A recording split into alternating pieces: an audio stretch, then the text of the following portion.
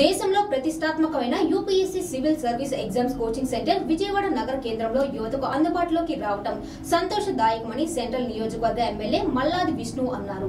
Andhraprabha colony తోటవారి వీధిలో విజయదర్శిని IAS academy నగర mayor Srimati Rayala Bhagyalakshmi deputy mayor Srimati Avathu Sri Sailaja రెడ్డితో కలిసి ఆయన ప్రారంభించారు. అనంతరం విద్యార్థులను ఉద్దేశించి ప్రసంగించారు.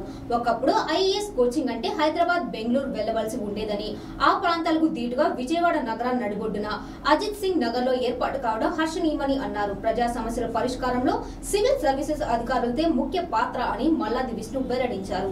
ప్రజలకు ప్రభుత్వానికి మధ్య వీరే వారధులని పేర్కొన్నారు. విజయవాడ నగరానికి ఒకప్పుడు మున్సిపల్ కమిషనర్గా సేవలందించిన ఐఏఎస్ అధికారి పేరు మీదనే అజిత్ సింగ్ నగర్ ఏర్పడిందని గుర్తు చేశారు.